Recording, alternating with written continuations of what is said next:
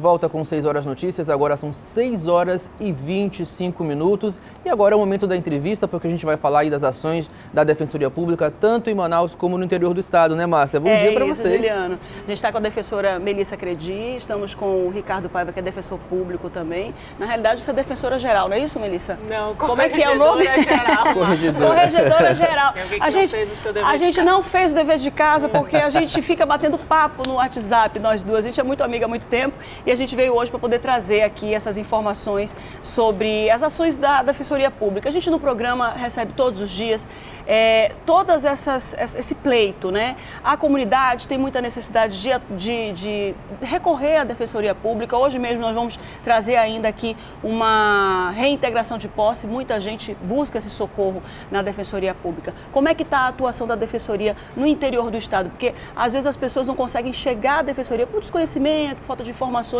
na capital. Imagine no interior. Como é que está a atuação da Defensoria no interior, Melissa? Bom dia, telespectadores. É um prazer estar aqui inaugurando esse novo horário. Né? A gente já esteve em algumas outras ocasiões com a Márcia e hoje a gente está na companhia do Juliano Couto e do meu grande colega Ricardo Paiva. E realmente a gente está ouvindo esses anseios da nossa população. No interior nós temos grandes novidades. Ano passado nós homologamos mais um concurso público, então são novos colegas que vão fazer essa frente né, com o trabalho no interior, nesse processo de interiorização dos nossos serviços, das nossas demandas. E ontem, a gente a, a, estava comentando agora há pouco, né, Márcia, que ontem nós recebemos três novos colegas na cidade de Parintins que estão realmente é, nessa formação da equipe de Parintins. Agora eu já estou na televisão, eu já posso me ver. Né? São os colegas Rodolfo, Roberta e Gabriela, que já estão trabalhando na cidade de Parintins. Eu, então... imagino, eu, imagino, que aqui em Manaus já é difícil o trabalho, né, por conta da demanda. Eu acho que no interior a situação ainda é bem mais delicada, né? Isso, de sensibilização, inclusive, para que nós reconheçamos que tipos de demandas nós temos no interior. Né? Que é, esse é um processo lento, mas é um, um processo concreto que nós realmente estamos é, fazendo essa integração nas cidades do nosso Amazonas, desse uhum. nosso grande Amazonas. Né? E nós temos uma grande novidade. Ano passado eu lembro que eu vim aqui é, para falar sobre os polos de Itacoatiara e o, os polos de Itacoatiara e Parintins. E nesse ano nós começamos o trabalho de interiorização de 2009 com a inauguração do polo de Humaitá. Agora, dia 15 de abril, nós, inaugura, nós inauguraremos o polo de, de Humaitá. E aí eu trouxe a minha colinha porque nós temos cinco cidades que serão servidas, além de Humaitá, por esse novo polo. Vai São... ser Lábrea, Novo Aripuanã, Manicoré, Apuí e Borba. Exatamente. Olha que legal, ela Não também é tem cola aqui. Pronto, a gente faz só metade do serviço. Ricardo Paiva, doutor Ricardo, tudo bem? Bom dia. Tudo bem, bom Como dia. é que está essa atuação aqui na capital? Acho que o Juliano também, se quiser intervir nesse momento, porque a gente tem algumas ações, a, a doutora Melissa falou comigo no ano passado ainda sobre o 129, que é uma, um telefone de recurso também da comunidade, né, para poder chegar até a Defensoria Pública. Bom dia, Márcio. Bom dia, Juliano. Bom, bom dia. dia. a todos os telespectadores. Bom dia, Melissa. Né? É, a Defensoria tem diversas ações na capital. É, nós conseguimos atingir nesses últimos três anos um milhão de atendimentos, então nós chegamos a um milhão de atendimentos. E a gente tem encampado é, algumas ações para melhorar o nosso atendimento. A gente percebeu a necessidade de dar uma melhor qualidade de atendimento aos nossos assistidos. Então nós reformulamos o atendimento da Defensoria e a partir daí nós instituímos o agendamento pelo Disque 129. Então, o assistido liga no 129, ele informa a demanda dele para um atendente e o atendente vai direcionar ele para o local de atendimento dele. Asterisco 129? Não, é apenas 129. Ah, 129. Ele disca 129, não tem custo nenhum, tá? Uhum. É, um, é um número 0800, então ele liga para esse 129, vai ter uma equipe lá de atendimento que vai direcionar ele para o local de atendimento. E além disso, a gente percebeu que hoje todo mundo está no mundo da tecnologia, né? Uhum. Então nós lançamos um agendamento online. Então para o assistido ficou ainda mais fácil. Basta ele acessar o site da Defensoria, que é o www.defensoria.am.def.br. Ele clica lá no agendamento online, em seis passos ele agenda o atendimento dele. Tá? Lembrando que esse atendimento inicial no, pelo agendamento online, ele só está disponível para a área de família. Então, aquelas ações de guarda, alimentos, visita, reconhecimento de solução de união estável, divórcio, uhum. é o que ele vai poder procurar.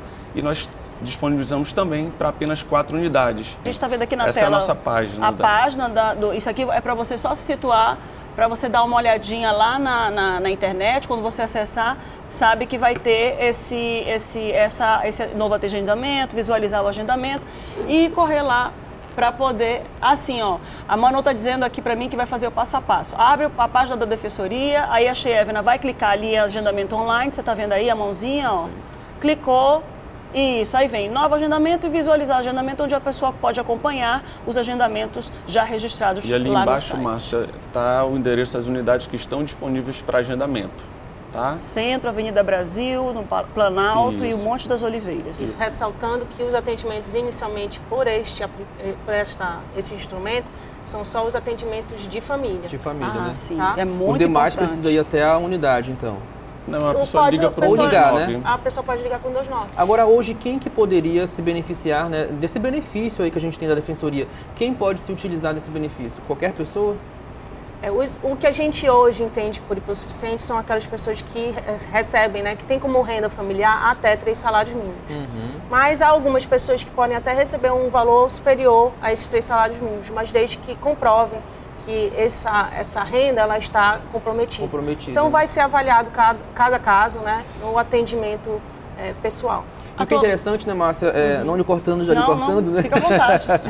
é que além do, do, do, trabalho belíssimo que a Defensoria faz, tem um trabalho também de conscientização e de orientação. Porque às vezes a pessoa liga para o DISC, né, ou vai até uma unidade, só para ser orientado. E às vezes nessa orientação você já resolve muita coisa, né, doutor Ricardo? Com certeza. A ideia da Defensoria é prestar todo tipo de assistência jurídica, assistência jurídica integral. Então, assistido, ele está com uma dúvida, ele quer uma orientação, ele pode procurar a defensoria que a gente vai estar à disposição. Então, ele está com uma dúvida na compra de um carro, é, na aquisição de, de um imóvel, alguma coisa nesse sentido. Se ele procurar as unidades da defensoria, nós vamos prestar todo tipo de assessoria para ele. Nós temos quantos defensores hoje atuando na capital e no interior do estado? Sabe-se esse número, mais Acho ou menos? Acho que nós estamos com 110 defensores no total, né? No interior, nós vamos chegar agora a 11 defensores. E com a inauguração do Polo de Humaitá, a gente deve chegar a 15 defensores atuando no interior. Lá nós Tem teremos mais, mais quatro colegas. Três assumiram ontem os trabalhos em Parintins e em Manicoré serão mais quatro. Tem uma arte que a gente que a, que a, que a doutora Melissa mandou pra gente, olha aí, ó posse dos novos defensores, sete, mais sete novos membros no primeiro trimestre e reforço para polos do interior. Isso, essa foi a, a posse dos três colegas de Parintins, o Rodolfo, a Gabriela e a Roberta. É, a gente tem a reportagem do, do, do Tadeu de Souza, a gente vai chamar agora, Manu?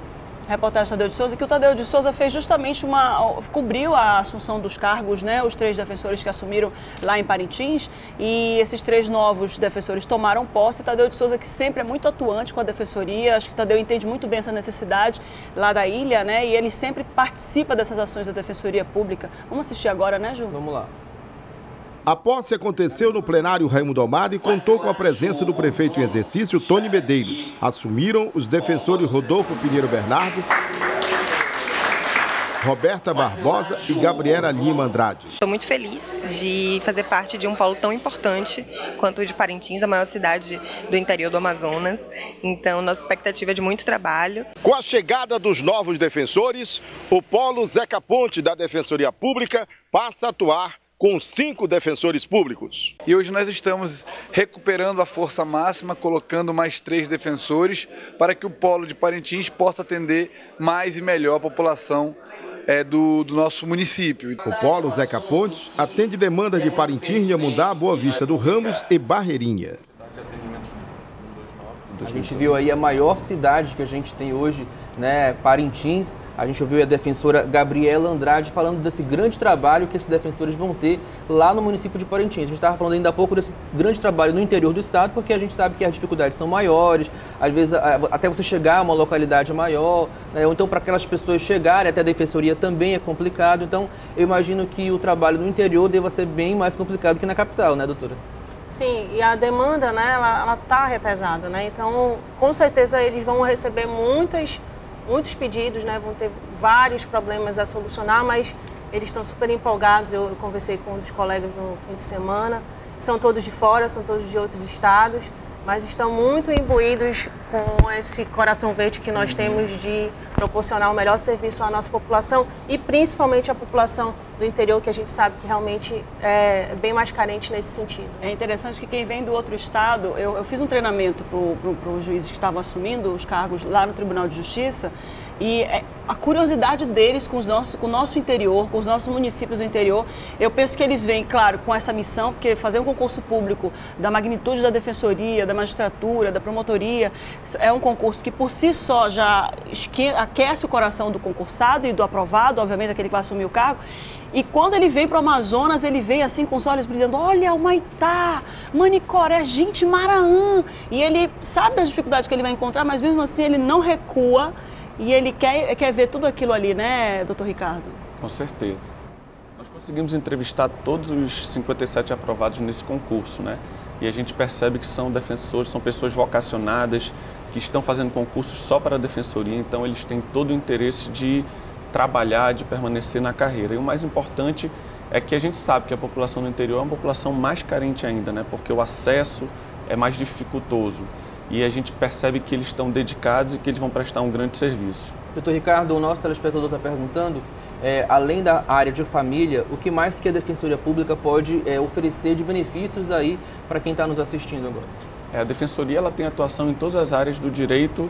É, a Defensoria do Amazonas só não atua na área trabalhista. Então, na área de família, na área criminal, na área civil, é, na área do consumidor. Então, aquela pessoa que fez uma compra e se arrependeu ou está com alguma dificuldade na troca de algum bem, pode procurar a defensoria. Aquela pessoa que esteja respondendo a algum processo criminal também pode procurar a defensoria, porque a gente vai prestar atendimento. Então, em todas essas áreas a gente atende. Uhum. Bateu o carro, sofreu um acidente, aí não tem dinheiro para um advogado, pode procurar a defensoria. Com certeza. Não teve dinheiro para pagar um advogado e está nesse limite que a doutora Melissa colocou de até três salários mínimos, a Defensoria vai estar à disposição para atender e prestar o um melhor serviço. Está aí a resposta do, do doutor é, Ricardo. Ricardo. E aí, só para lembrar, quem quiser procurar a Defensoria, basta ligar e o Disque 129, né? Isso. Isso. Além de qualquer um dos endereços que também constam no site, você pode procurar qualquer dessas unidades e como a gente acabou de falar, e eu ressalto aqui, que é muito importante que você procure a defensoria não só quando você tem um problema, mas se você quer tirar uma dúvida, é, nós, nesse, nesse termo assistência jurídica gratuita integral, está incluído esse nosso papel que é muito importante, que é o da educação em direito. Então, se você tem uma dúvida, você pode ir a alguma unidade, pode ligar para o DISC, que nós teremos todo o prazer em tirar todas essas, é, solucionar todos esses questionamentos que você possui. Muito obrigada, doutora Melissa, por eu ter vindo. Eu que agradeço mais uma vez a oportunidade. Muito obrigada, doutor Ricardo. Muito obrigado, eu que agradeço. Tá bom. Juliano, bom dia para vocês. Bom dia. Prazer bom receber dia. vocês aqui. A gente vai para o intervalo e daqui a gente vai trazer imagens da reintegração que já está em andamento, né, lá na colônia Antônio Aleixo, né, É isso aí, daqui a pouco a gente vai voltar a falar ao vivo com o Mei Chapiama. Não sai daí que a gente volta já já.